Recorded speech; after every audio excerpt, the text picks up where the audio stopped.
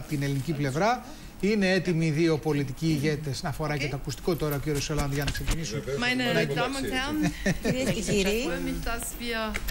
freue mich, dass wir heute gemeinsam nach Σήμερα dieser Sitzung in Bratislava από κοινού berichten können, θα μιλήσουμε για την συνάντηση στην Πρατισλάβα. was wir auch vereinbart haben.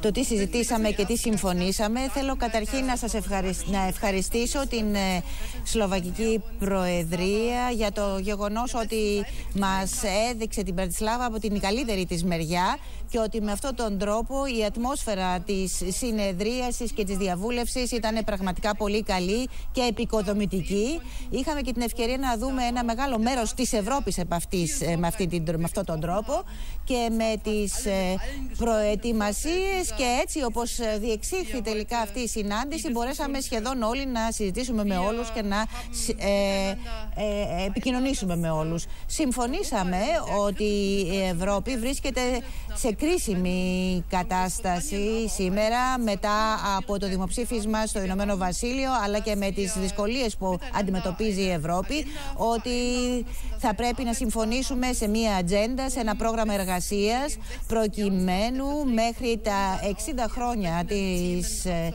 Ευρωπαϊκής Ένωσης να μπορέσουμε να, ε, συ- να εργαστούμε από κοινού. Πιστεύω ότι ο πρόεδρος της Κομισιόν, ο κύριος Γιούγκερ, στην ομιλία του στο Κοινοβούλιο έβαλε τα βασικά σημεία και σε πολύ μεγάλο βαθμό συμφωνεί με αυτά που συζητήσαμε και εμείς, ε, ο κύριος Ολάντ και εγώ και που θεωρούμε ότι είναι το σημείο εστίασης των εργασιών μας. Συμφωνήσαμε από τη μία μεριά ότι χαιρετίζουμε την ομιλία του Προέδρου της Κομισιόν, ότι επ' αυτής της βάσης ε, διεξήγαμε τη συζήτηση σήμερα και ότι η ατζέντα της Πρατισλάβας, Πρατισλάβα ε, που προτάθηκε θα αποτελέσει τη βάση για να εργαστούμε και στους επόμενους μήνες. Θα το υποστηρίξουμε, θα υποστηρίξουμε αυτή την οδό απόλυτα η Γαλλία και η Γερμανία και θα προσπαθήσουμε ε, σε συνεργασία με τους Υπουργούς Εξωτερικών, Εσωτερικών και Άμυνας να συνεχίσουμε τη συνεργασία. Ε, μ, υπάρχουν διάφορα θέματα, το θέμα τα- της ασφάλειας, της ε, μετανάστευσης και της προστασίας των εξωτερικών συνόρων. Εδώ ε, έχουμε το στόχο ή δυνατόν να σταματήσει ή να μειωθεί τουλάχιστον η ροή των μεταναστών και των προσφύγων, να ε, υπάρξει ε, η συμφωνία της Τουρκίας και της Ευρωπαϊκής Ένωσης, αλλά και αυτά που συμφωνήσαμε στην Βαλέτα, προκειμένου να υπάρξουν συμφωνίες δηλαδή με τρίτες χώρες και να μπορέσει η Ευρωπαϊκή Ένωση να βελτιώσει την, προς, την βοήθεια που παρέχει σε τρίτες χώρες. Στο θέμα της εσωτερικής ασφάλειας ε, αναφερθήκαμε στο θέμα της τρομοκρατίας που ανησυχεί όλους τους πολίτες της Ευρώπης και συμφωνήσαμε ότι οι προτάσεις που έχουν γίνει από την Γερμανία και από, το, από τη Γαλλία θα να υιοθετηθούν και να μάλλον να συζητηθούν καταρχήν σε επόμενους μήνες προκειμένου να υιοθετηθούν από περισσότερους. Είπαμε ότι χρειαζόμαστε περισσότερη συνεργασία σε πολλούς τομείς και στον τομέα της άμυνας μπορούμε να επιτύχουμε πολλά πράγματα. Είπαμε επίσης ότι ε, δεν ε, τηρούμε επαρκώς την υπόσχεση προς τους πολίτες της Ευρωπαϊκής Ένωσης για την ευημερία με την έννοια ότι υπάρχει μεγάλο ποσοστό ανεργίας. Ε, το γεγονός ότι ε, υπάρχουν πολλές ε, εξελίξεις τεχνολογικές εκτός της Ευρωπαϊκής Ένωσης όπου εμείς δεν αποτελούμε την κορφή του δόρατος ο κύριος Γιούγκερ κατέστησε σο, ε, σαφές ότι ιδίως και στον τομέα του ψηφιακού, το ψηφιακό είναι πολύ σημαντικό η Γαλλία και η Γερμανία να προχωρήσουν γιατί έχουμε τις θέσεις εργασίας του μέλλοντος σε αυτό το τομέα. Ε, θα εργαστούμε λοιπόν σε αυτό το πλαίσιο στους επόμενους μήνες και το πνεύμα της Μπρατισλάβα ήταν ένα πνεύμα της συνεργασίας του γεγονότος ότι όλοι είμαστε πεισμένοι ότι χωρίς την ευρωπαϊκή ολοκλήρωση δεν θα μπορέσουμε να επιτύχουμε αυτούς τους στόχους. Σίγουρα όχι τόσο καλά όσο θα μπορούσαμε να το επιτύχουμε τώρα εδώ από κοινού. Επίσης, είμαστε πεπισμένοι ότι χρειαζόμαστε συμβιβασμούς, αλληλεγγύη, την αίσθηση της συνεργασίας και ότι επί τη βάση των κοινών αξιών ε, αυτό που μας χαρακτηρίζει τον τρόπο της ζωής στην Ευρώπη ότι αυτά όλα είναι ένας ε, σημαντικός τρόπος για να προχωρήσουμε με ένα οικονομικό μοντέλο το οποίο σχετίζεται με την αποτελεσματικότητα αλλά και με το γεγονός ότι θέλουμε να προσφέρουμε ασφάλεια στους πολίτες αυτού του, αυτής της Υπήρου. Έτσι λοιπόν η Μπρατισλάβα ήταν ένα σημείο εκκίνησης για μια εντατική συνεργασία από εδώ και πέρα. Όλοι θεωρούν ότι δεν πρόκειται για μεγάλες δηλώσεις ούτε αλλαγές στις συνθήκες. Πρόκειται απλά για να, κάποια πρώτα σήματα που θέλουμε να δώσουμε στους πολίτες μας ότι θα προχωρήσουμε σε πρακτικά βήματα και αυτό σημαίνει ότι θα υπάρξει εντατική εργασία τους επόμενους μήνες και αυτό συμβολίζει και η κοινή παρουσίασή μας εδώ μεταξύ Γαλλίας και Γερμανίας θα συμβάλλουμε τα μέγιστα για να επιτύχουμε προς αυτή την κατεύθυνση. Κυρίες και κύριοι, euh, όταν ε, οι Βρετανοί πήραν την απόφαση να εγκαταλείψουν την Ευρωπαϊκή Ένωση, euh, οι 27 βεβαίως έπρεπε να δώσουν μια νέα προοπτική στην Ευρώπη και ετέθη η ερώτηση που φυσικά υπήρχε σε όλα τα μυαλά, σε όλα τα κεφάλια, τι θα κάνουμε μαζί, πώς μπορούμε να απαντήσουμε στις προσδοκίες των λαών μας και ποιες είναι οι ιστορικές μας ευθύνες απέναντι σε αυτό που θελήσαμε να γίνει η Ευρώπη, σε όσα αποφύγαμε και τι θα, θα πρέπει να κάνουμε σήμερα για την Ευρώπη. Με την Καγκελάριο θελήσαμε λοιπόν να πραγματοποιηθεί μια σύνοδος κορυφής η οποία διεξήχθη εξάλλου στην Πρατισλάβα. Ο Βατιξό έκανε τα πάντα για να ε, επιτύχει. Θελήσαμε λοιπόν να προετοιμάσουμε μαζί μια συνάντηση ε, σημαντική που ήταν, εξάλλου ήταν η πρώτη φορά που θα γινόταν με τους 27 και θα έπρεπε φυσικά να χαράξουμε μια γραμμή, να καταρτήσουμε μια ημερήσια διάταξη για τους επόμενους μήνες. Με αυτή τη διαδικασία προετοιμασίας μπορέσαμε και χάρη βεβαίως στις προσπάθειες όλων όσων συμμετείχαν και όλες των συναντήσεων που έγιναν για να προετοιμάσουν αυτή τη σύνοδο κορυφής, να καταρτήσουμε κάποιες προτεραιότητες και ένα πρόγραμμα εργασίας στη βάση των προτάσεων που κατέθεσε η Γερμανία, η Γαλλία και άλλες χώρες και βέβαια στη βάση όλων όσων είπε ο πρόεδρος της Ευρωπαϊκής Επιτροπής, ο Ζαν Κλοντ Juncker, ενώπιον του Ευρωπαϊκού Κοινοβουλίου. Στην Πρατισλάβα κατεφάνει ότι η Ευρώπη έχει την πρόθεση να προχωρήσει, έχει σαφείς προτεραιότητες και αυτές οι προτεραιότητες ανταποκρίνονται στις προσδοκίες των Ευρωπαίων. Προστασία, ασφάλεια, ευημερία και βεβαίως το μέλλον της νεολαίας. Στη βάση αυτών των προτεραιοτήτων κατατήσαμε ένα πρόγραμμα εργασίας ε, και βέβαια μια ημερήσια διάταξη. Και τώρα βεβαίως τα ευρωπαϊκά, οι ευρωπαϊκοί θεσμοί, το Συμβούλιο, το Ευρωπαϊκό Κοινοβούλιο, η Επιτροπή θα πρέπει να το υλοποιήσουν. Έχουμε ήδη ένα χρονοδιάγραμμα που ξεκινά σήμερα στην Πρατισλάβα και θα συνεχιστεί με τον Οκτώβριο με το, Συμβουλιο, με το Ευρωπαϊκό Συμβούλιο. Θα γίνει κατόπιν ε, μια, στη Μάλτα ε, τον Φεβρουάριο μια ανεπίσημη σύνοδος κορυφής και κατόπιν όταν θα εορταστεί η 60η ε, επέτειος από την, από την Συμφωνία της Ρώμης θα καταθέσουμε στη Ρώμη το Μάρτιο τις επίσημες, ε, αν θέλετε, ε, αποφάσεις μας. Ε, θυμίζω τις προτεραιότητες μας. Ασφάλεια σημαίνει καταρχήν προστασία των εξωτερικών μας συνόρων. Θα πρέπει η Ευρώπη να αναλάβει τα καθήκοντά της όσον αφορά φυσικά τον σεβασμό του δικαιώματος του ασύλου, αλλά και τις, τις αν θέλετε, ευθύνες της όσον αφορά την καταστολή της παράνομης μετανάστευσης πρώτα-πρώτα και την προστασίας των χωρών και τις, ε, που βρίσκονται στην πρώτη γραμμή Ιταλία, Ελλάδα, Βουλγαρία. έτσι ώστε να πάρουμε μέτρα, μέτρα που ήδη αποφασίσαμε και να τα εφαρμόσουμε, να τα υλοποιήσουμε πραγματικά. Έχουμε επίσης μία ευθύνη όσον αφορά την καταπολέμηση της τρομοκρατίας και θα πρέπει και από αυτή την ε, άποψη να δημιουργήσουμε αν θέλετε ε, κάποια, ε, κάποια μέτρα όπου να μπορούν να είναι πρακτικά να είναι αποτελεσματικά.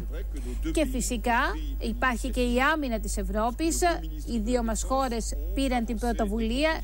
Οι δύο Υπουργοί Άμυνας κατέθεσαν προτάσεις που είναι ανοιχτές προς όλους τους ευρωπαϊκούς Ευρωπαίους εταίρους. Κατόπιν έχουμε την ανάπτυξη, τις επενδύσεις και την απασχόληση φυσικά την ευθύνη που έχουμε να κάνουμε, που έχουμε απέναντι σε ε, τεχνολογίες του μέλλοντος, σε υποδομές του μέλλοντος, στην ψηφιακή ε, τεχνολογία και στην οικονομία.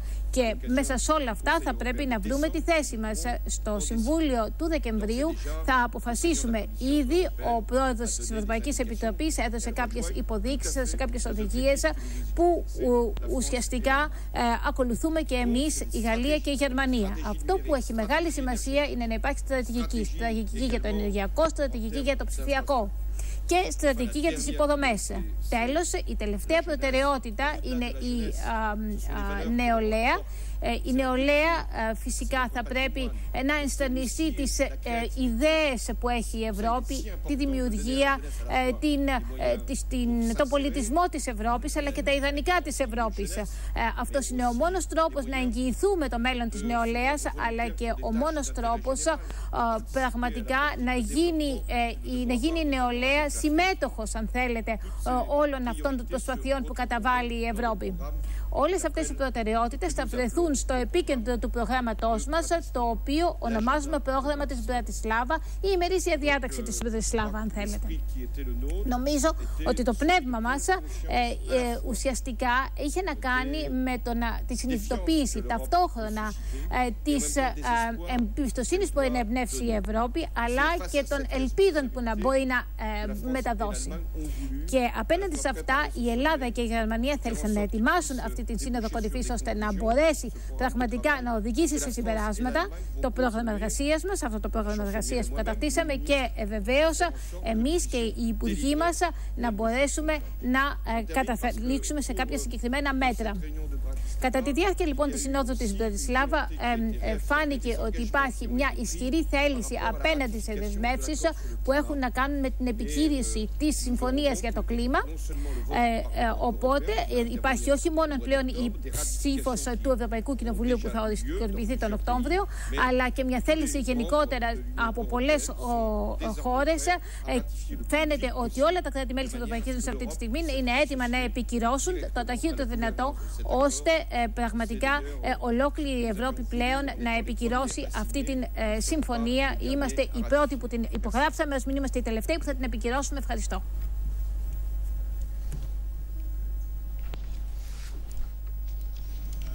Französischen Präsidenten.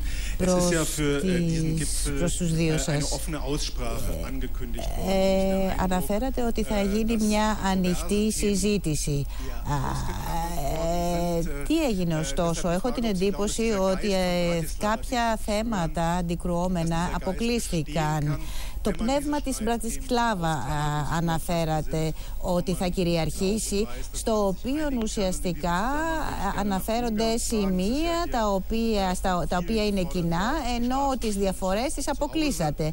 Τι γίνεται λοιπόν με την Ουγγαρία, όπου πραγματικά υπάρχουν αντιθέσεις; Ε, ποια η σχέση ε, αυτή το, το, του πνεύματος της Μπρατισλάβα με το δημοψήφισμα που έχει ανακοινωθεί από τον πρόεδρο της Ουγγαρίας το δημοψήφισμα το οποίο είναι κατά των προσφύγων και είναι αντίθετο προς την απόφαση της Ευρωπαϊκής Ένωσης για την κατανομή των προσφύγων στα κράτη της Ευρωπαϊκής Ένωσης. Οπότε ποια η σχέση με το πνεύμα της Μπρατισλάβας; Οι συζητήσεις σήμερα ε, δεν ε, περιορίζονται περιορίστηκαν στο πνεύμα της Μπρατισλάβα, αλλά ουσιαστικά στο να βρούμε λύσεις. Εκεί που υπάρχουν λύσεις βέβαια προχωρήσαμε, αλλά μιλήσαμε και για θέματα τα οποία έχουν ε, είναι προβληματικά. Για παράδειγμα, για τα κοινά σύνορα που υπάρχουν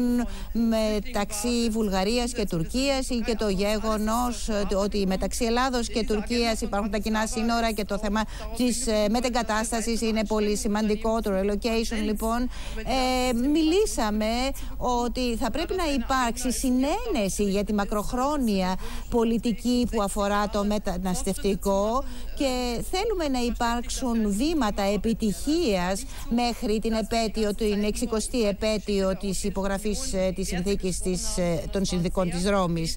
Ε, δεν μιλήσαμε λοιπόν γενικά απλά και μόνο για αξίες, αλλά ήταν πολύ συγκεκριμένες οι συζητήσεις. Είπαμε ότι θα πρέπει η Ευρώπη να γίνει και πάλι ένα εργαστήρι του μέλλοντος. Μιλήσαμε για παράδειγμα και για την Αφρική η οποία είναι, ε, γειτονεύει με την Ευρώπη και ότι θα πρέπει να ασχοληθούμε και με αυτήν. Μέσα σε αυτό το πλαίσιο ε, διεξήγαμε τη συζήτηση. Δεν μιλήσαμε ε, διημερός με τον ε, Βίκτορ Όρμπαν, αλλά και εκείνος συμμετείχε στη συζήτηση και εκείνος ε, ε, συμμερίζεται το στόχο ότι η λύση δεν θα είναι εύκολη, βέβαια το γνωρίζουμε όλοι.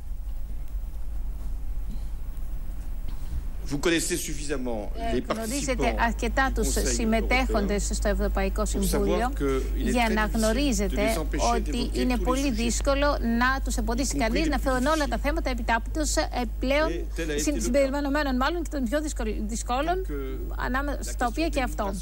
Ε, τα θέματα ε, των προσφύγων, τα θέματα της μετανάστευσης, του ελέγχου των συνόρων είναι από τα πιο δύσκολα θέματα.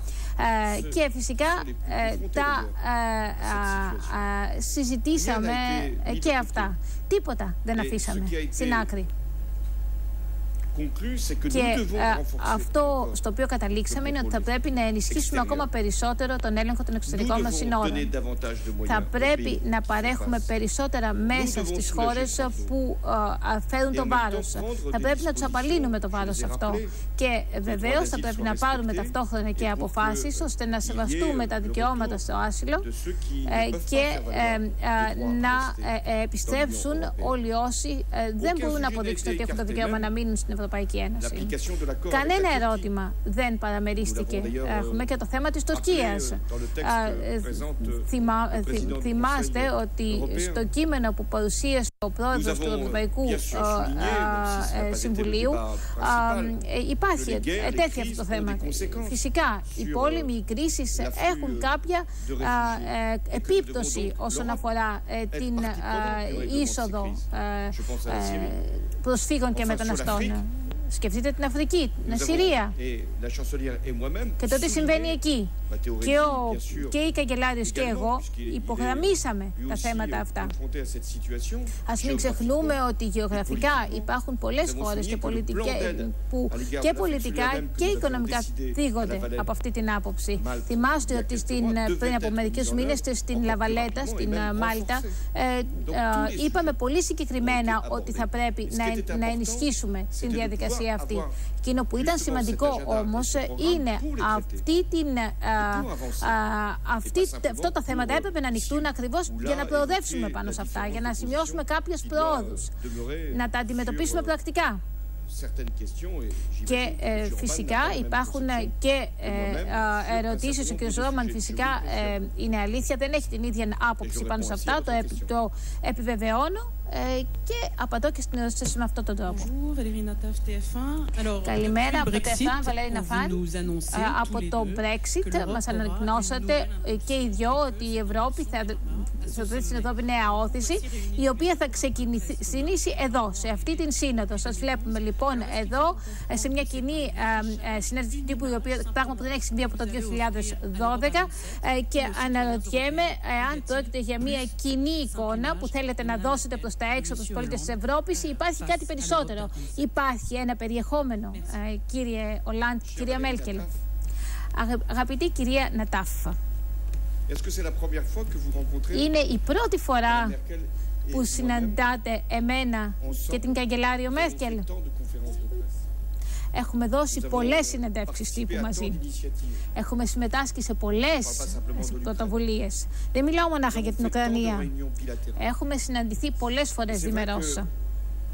Και είναι αλήθεια ότι στις συμβουλεύσεις, στα, στα συμβούλια ε, του Ευρωπαϊκού Συμβουλίου και στα συμπεράσματά του Κάθε φορά δίνουμε ε, μία κοινή ε, συνέντευξη τύπου ε, τις περισσότερες φορές ε, μεταδίδουμε ένα μήνυμα. Το μήνυμα είναι κοινό. Μπορεί να το ε, αναφέρει ο καθένας ξεχωριστά ή και οι δυο μαζί. Είναι αλήθεια όμως ότι από την εποχή της απόφασης που έλαβαν οι Βρετανοί ήταν πολύ σημαντικό να δείξουμε ότι η Γερμανία και η Γαλλία ουσιαστικά συμμετέχουν πλήρως στην Ευρώπη και δεσμεύονται και οι δύο για την επιτυχία των ευρωπαϊκών στόχων. Θελήσαμε λοιπόν εγώ και η Καγκελάριος μαζί να σας ανακοινώσουμε τα συμπεράσματα αυτής της Συνόδου και να ε, επισημάνουμε επίσης ότι μαζί θα αντιμετωπίσουμε όλες τις προκλήσεις. Το έχω ήδη πει, βρισκόμαστε σε μια κρίσιμη φάση της Ευρωπαϊκής Ένωσης και γι' αυτό από κοινού ξεκινήσαμε με δύο μεθόδους εργασίας. Ε, σκεφτήκαμε ποια είναι τα ενάυσματα τα οποία θα μπορούσε να δώσει η Γαλλία και η Γερμανία από κοινού. Προσπαθήσαμε να, να προσεγγίσουμε όσο γίνεται περισσότερους. Το έκανε τόσο ο Φρανσουά όσο και εγώ. Γι' αυτό μιλήσαμε και με τον Ματέο Ρέντσι. Και ε, ε, μετά από αυτό δημιουργήθηκε λοιπόν με αυτόν τον τρόπο μια ευρεία ημερήσια διάταξη την οποία ξαναδιατρέξαμε χτες από κοινού με τον κύριο Γιούγκερ και σήμερα μπορούμε να πούμε ότι πέρα από την Πρατισλάβα χωρίς να θέλουμε να αποκλείσουμε κανέναν μπορούμε να θεωρήσουμε ότι θα μπορέσουμε να προχωρήσουμε με επιτυχία επί αυτής της ημερήσιας διάταξης και δεν θα παραμείνουμε στα λόγια αλλά θα περάσουμε στην πράξη. Ε, θα πρέπει να θέλουμε να δώσουμε ένα μήνυμα καταρχήν ότι θα κινηθούμε από κοινού και γι' αυτό εδώ και αυτή η κοινή συνέντευξη τύπου. Από το Reuters, Ανδρέα Ρίκε, μια ερώτηση και στους δύο σας. Ε, οι χώρες Βίζενγκρατ ε, ουσιαστικά επέδειξαν μια ευελιξία ε, στο, στην πολιτική της μετανάστευσης. Ε, θα ήθελα να ξέρω κατά πόσον πραγματικά θα μπορούσε να βρεθεί μια λύση στις ε, διαμάχες που υπάρχουν σε αυτό το θέμα σε σχέση με το πόσους μετανάς, ε, με, μετανάστες και πρόσφυγες θα πάρει κανείς αν μπορεί να το αντισταθμίσει με οικονομικά, ε, μεγαλύτερη οικονομική συμμετοχή. Και να ρωτήσω και κάτι για την, γερμανική, για την Deutsche Bank και ποια, πώς ακριβώς αντιμετωπίζει η Γερμανία αυτό το ζήτημα θα έλεγα ότι δεν είναι σκόπιμο να ασχοληθώ με αυτό το ζήτημα, να το σχολιάσω αυτή τη στιγμή. Το δεύτερο ζήτημα και θα εστιάσω αποκλειστικά και μόνο στο θέμα των κρατών Βίζενγκρατ.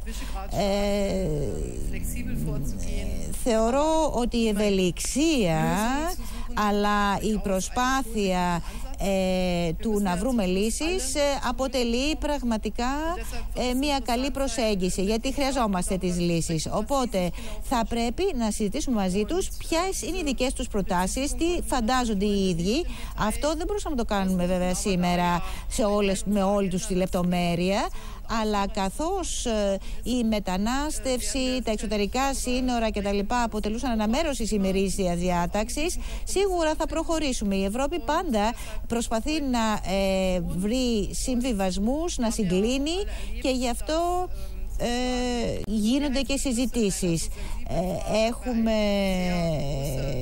δει ότι η καταπλειοψηφία αποφάσεις σε θέματα τα οποία είναι επίμαχα είναι πάντα πολύ δύσκολες και γι' αυτό θα πρέπει να τις επεξεργαστούμε ακόμη καλύτερα και να βρούμε σωστές λύσεις. Η προτεραιότητα, αυτό που εμείς συγκρατήσαμε, είναι να διασφαλίσουμε τον ε, έλεγχο των εξωτερικών συνόρων της Ένωσης. Εάν δεν υπάρξει αυτή η εγγύηση, δεν θα μπορέσει να υπάρξει μηχανισμός που να εφαρμοστεί με δικαιοσύνη και αποτελεσματικότητα.